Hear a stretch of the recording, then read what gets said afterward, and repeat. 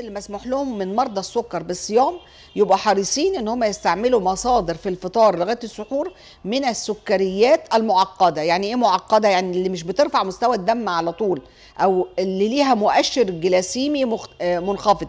المرضى السكر عارفين الكلام ده اللي هو إيه؟ البطاطس المسلوقة بتقعد مدة طويلة البطاطا بتقعد مدة طويلة بلاش السكر الجاهز والعيش الجاهز والحلويات والسكريات كل ده فيه خطورة على صحة مريض السكر.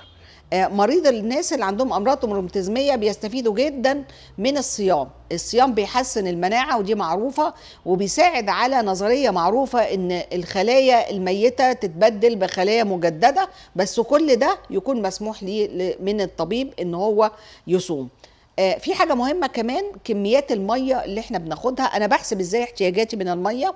وزني على 8 دي ببساطة. يعني أنا لو وزني 80 كيلو أنا المفروض آخد 10 كوبايات مية.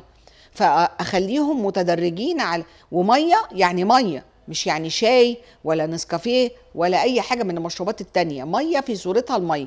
ونقلل بقى من حكاية الشاي والنسكافيه وخلافه لأن كل دي مدرات للمياه.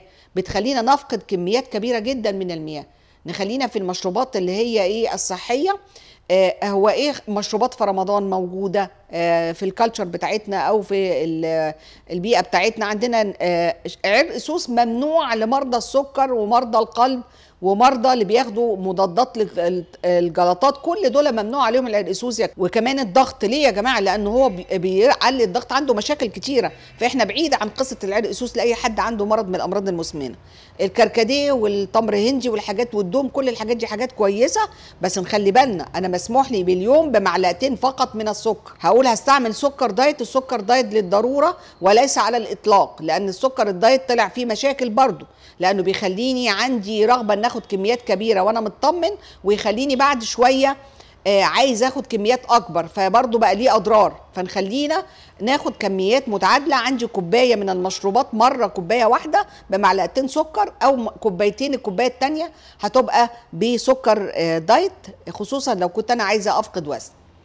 آه غير المياه وغير الحاجات دي طبعا إحنا طبعا بنتعزم في عزومات آه بره آه وناكل كذا مرة. نخلي بالنا من القصة دي نخلي بالنا من الكميات بتاعتنا من المغذيات ونخلي بالنا كمان من الأكل بره يعني إيه الأكل بره خلي بالك ال- الأكل في المطاعم والمحلات أنت ما عندكش رقابة عليه ما تعرفش ظروفه عاملة إزاي.